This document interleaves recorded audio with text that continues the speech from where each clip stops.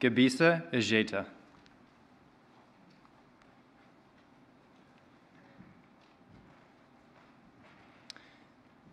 The National Medal of Science has been awarded to Gebisa Ejeta of Purdue University for outstanding contributions to the science of plant genetics.